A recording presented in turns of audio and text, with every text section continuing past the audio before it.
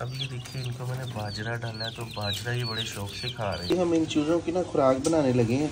तो ये हमारे पास देखिए, चावल है, का सुपर कर्नल बासमती। अच्छा ये देखिए, ये हमने ना इस तरह चावल लेने हैं।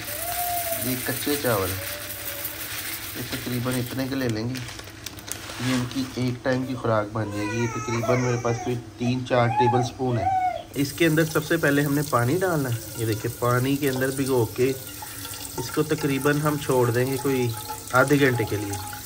और आधे घंटे बाद फिर मैं आपको बताता हूँ इसका हमने क्या करना है। सॉस पैन को मैंने आग पे रख दिया है और इसको हमने इतना बॉईल करना है कि जैसे आम हम चावल बॉईल करते हैं ना, इसी तरह से हमने इन चावलों को बॉईल कर लेना है।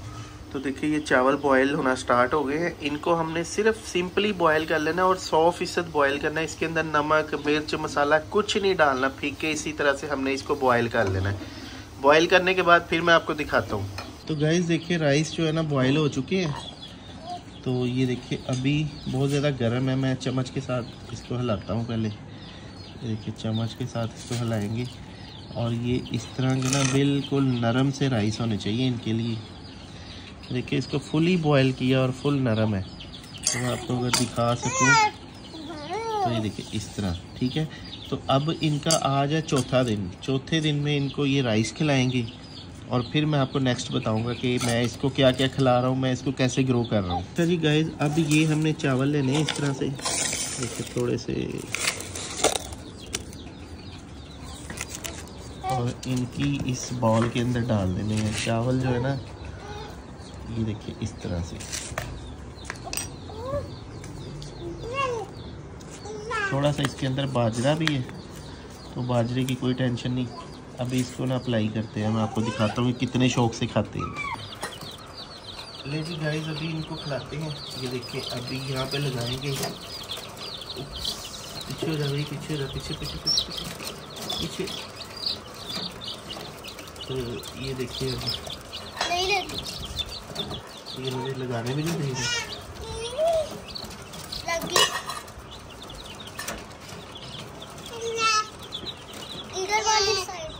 कोई बात नहीं। बस इनको खाने दो। अब ये देखिए कैसे राइस खा रहे हैं। इसको सिलेक्ट करके ना थोड़ी सी वीडियो बनाओ।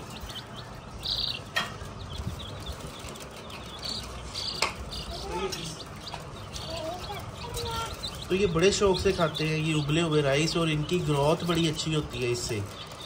और साथ में फ़ीड देनी है, दाना देना है तो किस किस टाइम देना है, मैं साथ साथ आपको गाइड करता जाऊँगा जैसे जैसे मैं इनको दे रहा हूँ।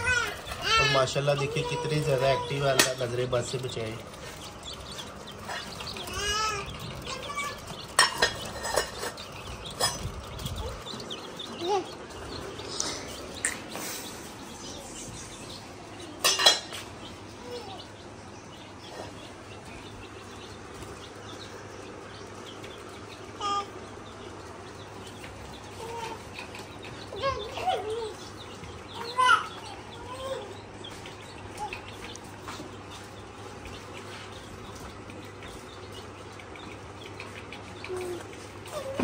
ये देखिए जी पोजीशन ले जी, अभी दोपहर के चार बज गए हैं और अभी इनको दोबारा से पानी पिला रहे हैं। अब देखिए ये इनको कितनी ज़्यादा प्यास लगी हुई है। तो गर्मी का मौसम है तो दो से तीन दफ़ा दिन में इनको पानी पिलाना चाहिए। और यहाँ पे देखिए मैंने इसकी सफ़ाई कर दी, इनके केज की। अंदर से इसकी शीट्स वगैरह चेंज कर दी हैं और इनके जो ये कोलियाँ हैं, इसके अंदर मैंने दाना शाना दोबारा से डाल दिया और ये प्रोसेस भी दिन में एक दफ़ा लाजमी करना है, इनकी सफ़ाई लाजमी करनी है। जिस खुडे में भी इसको रखा होगा ना, उसकी सफ़ाई करनी है। तो इससे इनको बीमारियाँ नहीं लगती और इनकी लाइफ बढ़ती है। दोपहर के खाने में इनको चावल दिए थे। और अभी जो शाम का खाना है, उसके अंदर हमने इनके अंदर फ़ीड और इनकी कोलियों के अंदर फ़ीड और बाजरा मिक्स कर दिया है। तो शाम को ये देंगे और दरमियान में दो से तीन दफ़ा पानी पिलाना सुबह, दोपहर, शाम। पानी जो होता है ना, अक्सर लोग पानी इससे डब्बे के अंदर, इस केज के अंदर ना, यहाँ पे रख देते हैं। तो यहाँ पे पानी रखने का नुकसान ये है कि जब ये छोटे छोटे होते हैं ना, जब पहले, दूसरे, चौथे दिन के होते हैं तो ये पानी पीते रहते हैं, फिर दाना नहीं खाते, पानी ही पीते रहते हैं। जब पानी पीते रहते हैं तो जानवर उससे ये होता है कि उससे हमारा परिंदा मर जाता है। मरता क्यों है कि ये ज़्यादा पानी पी लेते हैं और खाना खाते नहीं है। इनका जो इम्यूनिटी सिस्टम है, वो कमज़ोर होता है, दाना नहीं खाते। तो पानी की वजह से फिर ये लटक जाते हैं। तो फिर वो कहते हैं ये चूज़े सही नहीं है। तो इनको ना, इस तरह से ये सारा जो प्रैक्टिस मैं आपको बता रहा हूँ, इस तरह से आपने भी करनी है, मैं भी कर रहा हूँ साथ साथ आपको बता रहा हूँ। ये देखिए अभी।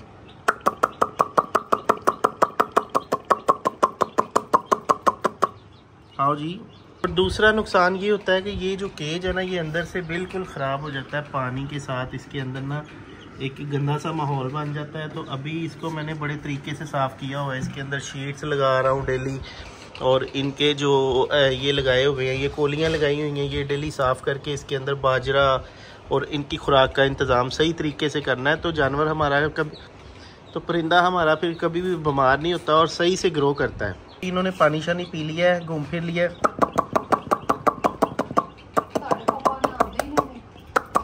ये लिखवाया तो अभी इसको दोबारा से पिंजरे के अंदर डालेंगे।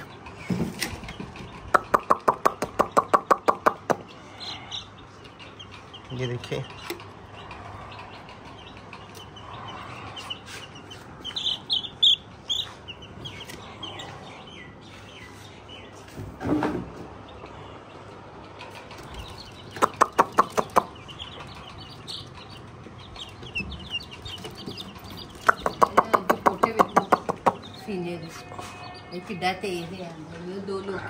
अच्छा जी, अब ये देखिए, इसका खुराक वाला पोटा फुल भरा हुआ है। तो ये फिल है अभी पानी शानी पी के सारा कुछ करके ये फिल है, ये देखिए।